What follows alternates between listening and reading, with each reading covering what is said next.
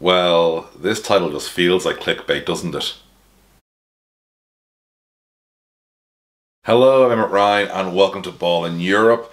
Uh, we are, of course, uh, discussing the comments really by Jason Kidd comparing Luka Doncic not just to Dirk, Dirk Nowitzki, but also to Michael Jordan, who is broadly seen as the greatest of all time. The debate basically these days, possibly the most boring debate in all of basketball, is whether he or LeBron is the greatest of all time. I like to enjoy people for who they are, and that may be a recurring theme in this video. But uh, yeah, we're going to discuss that today. We're going to discuss really the context, uh, first of all, from the Dirk and the rest of Europe's great ballers perspective. Then we're going to go into where Luka is today in terms of the all time stuff. And lastly, we're going to discuss the whole well, does he belong in a conversation with MJ just yet? And before we get to all of that, though, it is competition time. Just there beside Nikola Jokic is my book, I Like It Loud. If this video gets over a thousand views, we will give one copy of that away to somebody in the comments. We're doing that with all of our videos for the foreseeable future that get over a thousand views. So leave a comment, share it, tell your friends. You know the drill. And if you uh, are the comment we pick, you'll get sent out. We have just cleared a thousand videos in our most recent video regarding Mr. Jokic. Well, the most recent one to hit a thousand. So that winner we picked out at some point between this video going up and the next one going up, and I will uh, inform the winner that they've got it, and I will get their details and send it on to them. So congrats to them. If you want a chance to win the book, comment, obviously subscribe, like, share with your friends. You know the drill, folks. So now let's get to the meat of it. Starting first off with the whole Dirk thing. So we're going to discuss first, we're going to look at the comments that Jason Kidd actually said. And it was uh, in an appearance on Tuesday with uh, 97.1 The Freaks, The Downbeat. Gosh, I love American radio station names and show titles. So he proclaimed that Luka Doncic, who's 24, belongs in the conversation with Michael Jordan and others on a short listing of the greatest players in NBA history. He's better than Dirk said Kidd of a Hall of Famer who was teammates with Nowitzki on the Mavs 2011 championship team. He's in the atmosphere of MJ, the best to ever do it. LeBron, Kobe, and just so and so just to appreciate what this young man's doing at the age 24 is something that Dallas has never seen. I've said this internally. He is better than Dirk. He does things that Dirk could never do, and now is the opportunity of getting the right people around to ultimately win a championship. So I think the context is quite important in that while he's not saying I think that uh, you know he's overtaken MJ yet uh, by any stretch or might endeavor.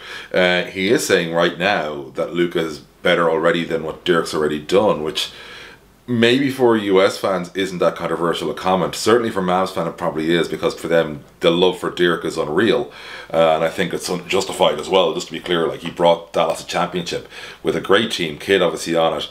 Uh, Tyson Chandler as well, Roddy Beaubois, who of course has gone on to win a couple of EuroLeague titles back here in Europe.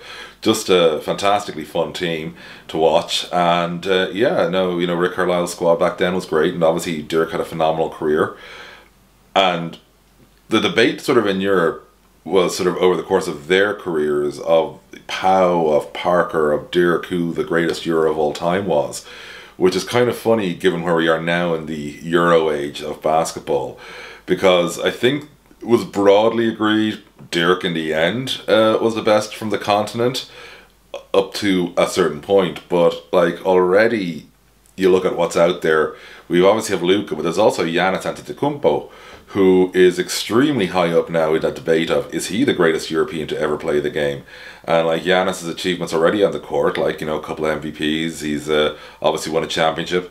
Uh, you know they are not to be sniffed at, and like for a lot of Europeans right now, they would wonder who the better European right now in the NBA is. Is it Giannis? Is it Luka? Like this is not a settled debate and especially because they're such different players, different roles, different jobs for their teams, and obviously slightly different phases of their careers. So this is a much deeper debate than you might think. Like again, he's 24, he's so young still. He has the vast bulk of his basketball career still ahead of him, which is kind of what makes this an odd debate to have because getting all the way to the MJ debate, which is what Jason Kidd wants to fast forward to, which is kind of cool, is quite something because on this side of the Atlantic, we haven't really settled yet where Luka's stands in the pantheon of Europeans. uh, of all time Euros. And even the three I named there, by the way, if I go, I went Pau, I went Parker, and I went Dirk. I'm sure there are some European viewers watching this kind of going, well, actually, no, I'd have a couple of other guys above them in the debate. Uh, and uh, I understand that entirely. Like, you know, and obviously there'd be the Bodiroga uh, uh, homeboys, and great player, obviously. Uh, although Dejan never played in the NBA, uh, but that shouldn't take him out of the debate either. So, you know, it's, it's a curious one, uh, and it's an odd one. So, the Euro debate itself is quite something, but we'll stick with Dirk for now because he's saying the best Mav, not the best Euro. Jason is. I think until Luka wins a championship, it's going to be hard for him to take the you know the title of best Mav ever from Dirk, or at least un, not for a few more years. You know, obviously his numbers, his ability, what he's doing is unreal, and Dirk did have better teams, particularly contextually around him than Luka's had so far. But yeah, so that's there. So now let's talk about Luka to now. I've been saying this quite a lot in videos lately, uh, and I just before I get onto that, oh yeah, I didn't even mention Nikola Jokic because he's also in the debate of best Euro alive right now. The reason I didn't mention him flat out there was I was so convinced over the Luka Giannis debate in the previous section because of the two balls behind me that it's like, oh yeah, also, you know, that guy who's won a championship and two MVPs and is also being considered one of the greatest big men ever. So you got Jokic, Giannis, and Luka there right now who are in contention for greatest European of all time. So uh, sorry for all the Jokic homers there. That was a complete error. I was distracted by the balls hey, hey, hey, and not by the one that's got a, a trophy there, was directed by that. But now, anyway, Luka as he is now, because he hasn't achieved what Nikola Jokic has achieved. He's not achieved what Giannis Antetokounmpo has achieved. Um, you know, but uh, he's still achieved a lot. And it really is quite something, because like I said, he's already a Hall of Famer. Uh, you know, which is something I've been saying quite a bit lately. Um, and the reason I, you know, not just about him, but about other players, because of there's the Euro, well, the Euro, but the international player slot, which automatically goes in. But we can actually almost put Luka's international achievements aside. We won't immediately, but we will in a second, because he's won Eurobasket. He's done so much in Europe as well before he came, like winning MVP of EuroLeague, winning EuroLeague Final Four MVP, obviously winning EuroLeague as well. Getting Slovenia, not just their first ever title at Eurobasket. That was their first ever medal in an international tournament, World Cup, Olympics, or Eurobasket of any type, any. And he was there at Goran Dragic to get them that. So you put all of his FIBA stuff, and obviously he nearly carried them to a medal in the Olympics, nearly carried them to an Olympic final. Has had two great tournaments since then in Eurobasket and the World Cup. Uh, not medaling in either, obviously, and uh, quarterfinal exits in both, in fact. But you kind of go like the body of work is there uh, that he's like you know walking in on that alone. But like I said, we can put all that to one side because based on the history of the Hall of Fame, the Basketball Hall of Fame, we can ignore his international work because he's already hit the two of the key barriers really for guarantee you get into the Hall of Fame. He's obviously got a long way to go still on counting stats because he is only a few years into his career and as a result, he's only say he's only about the halfway point on the typical points required to be an absolute lock for the Hall of Fame. But he has hit two key key barriers, which basically mean it's almost a cert he goes in if he was to retire this summer. Uh, the two barriers are he's got five All Stars now, which is big, but also crucial because five All Stars is typically the okay if you have that you're making the Hall of Fame number. Uh, historically speaking, he's also been on an NBA All NBA first team only four players since the merger with the ABA who've been named to an All NBA first team have not made it to the Hall of Fame. And you think of all the players who've made those lists. So the two key delineators that really jump out there mean, yeah, like Luke is already in the Hall of Fame, uh, you know, at 24. Great. But that's for when he's a much older dude. Like that's for 20 years from now, like, you know, depending on how long he wants to play. Uh, like if we're saying 20 years from now, by the way, he's that's him at the age of 44. Uh, so implying he plays at 39. I don't know if he's going to go that long, but let's say he goes to 35, so 11 more seasons. Uh, that's still 16 years from now before he's in the Hall of Fame, because we're assuming first ballot in this context. So it's a long, long way away. Like I'll be even older then, uh, you know, and it's kind of wild. So when you look at it in that context it is a bit weird that we're discussing him in the greatest of all time debate already.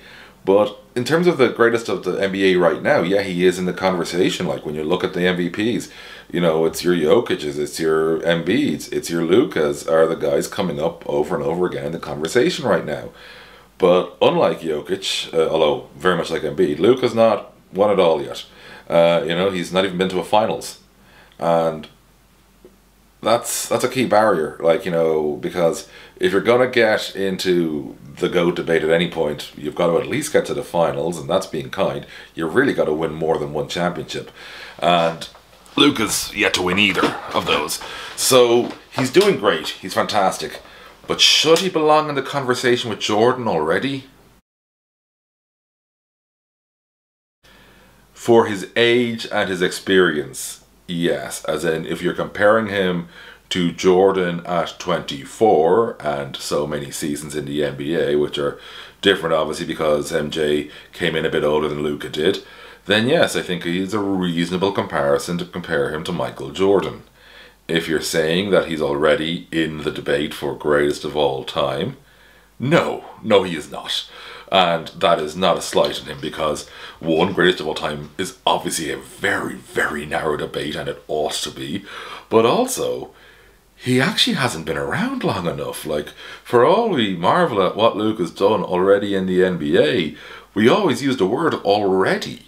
Like, we say it for a reason because there's so much more to come. He has a long, long time in basketball ahead of him to either make his case for the GOAT debate or to kind of remove himself from it. And just to be clear, he could have one of the greatest basketball careers of all time starting from today, scratch, and going to the end. And we're still not going to be putting him in the greatest of all time debate. Like, he has to have more than just one of the greatest basketball careers of all time. He has to have one of the best of the best of the best of the best basketball careers of all time. Is he capable of it? Absolutely. Guaranteed to be capable of it. Is he going to do it? I have no idea. I'd love to see him in the, in the debate. Like for a guy from a place small like Slovenia is like a third the population of Ireland. Like phenomenal. I would be thrilled to see that. Utterly. I have no idea if it's going to happen. And, you know, Jay Kidd, he's seen a lot more basketball than you or me. And, uh, you know, he's, seen a, he's, he's played with a lot better players than you or me, too. Uh, I think that's the understatement of understatements. And Although I did play with a couple of guys who did beat the USA once, but that's like literally the only time I ever played organised basketball. But they did beat the USA in 2006, so that's kind of cool. Uh, but yeah, yeah, you know, it's. I think it's reasonable to say that it's a little early to be putting Luka in the conversation. Let's let come back to me when he's got a chip, you know, or an MVP at least, and uh, then we'll have that conversation. But listen, it's fun to talk about. It's great to recognise that Luka's already an all-timer because he is.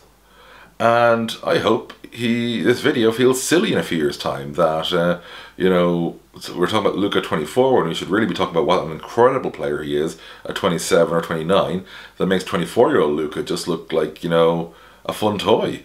Uh, which is hilarious because he's obviously an enormous contributor. But that's what I'm saying. I want the player I see in three, four years' time to make this phenomenal player I see right now look not as good. Uh, kind of cool, right? So anyway, yeah. Um, thanks you all for tuning in. Sorry for the glaring omission of Nikola earlier in the video. Distracted my eyeballs. Uh, and uh, I hope you have subscribed. If you haven't yet, please do. Like I said earlier on, leave a comment if you want to be in with a chance to win a book. We do need to clear a thousand views to make it, uh, well, basically worthwhile with the postage, because if we get a thousand views, the reason I set up barriers, we get just enough income to cover the postage anywhere in the world of the book to where you are. So I'm trying to make it affordable for myself to actually give these away. But uh, really, really thank your engagement, and uh, listen, that's all I got to say for now. Catch you next time.